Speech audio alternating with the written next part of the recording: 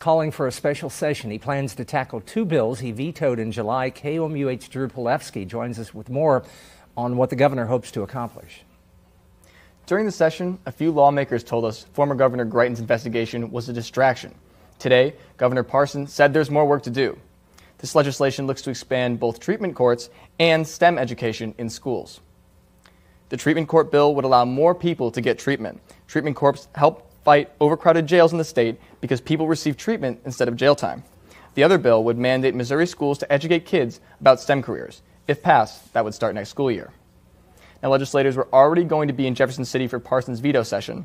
This special session will not cost taxpayers any extra money. In the newsroom, Drew Pilewski, KOMU 8 News. Both Claire McCaskill